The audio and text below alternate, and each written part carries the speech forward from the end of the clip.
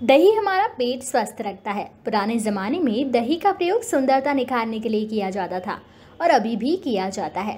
दही में प्रचुर मात्रा में बैक्टीरिया, विटामिन और खनिज पाया जाता है, जो कंडीशनर और स्क्रब की तरह कार्य करता है।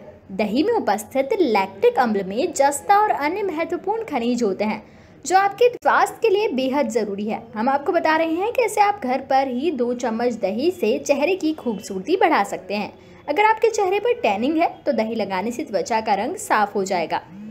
दही आपके लिए moisturiser, scrubber anti ageing cream और फेस पैक का काम करता है। इसके साथ ही त्वचा से झुरियाँ मिटने लगती हैं।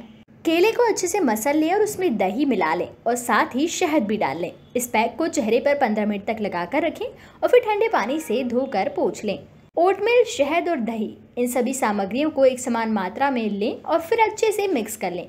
फिर इस पैक को चेहरे पर लगाएँ और 20 मिनट के बाद हल्के हाथों से रगड़कर साफ़ कर लें। फिर चेहरे को पानी से धोकर पोछ लें।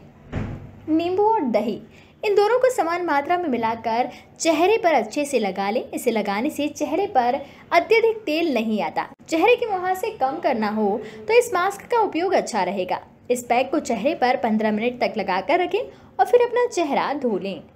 Subscribe our channel and press the bell icon for more updates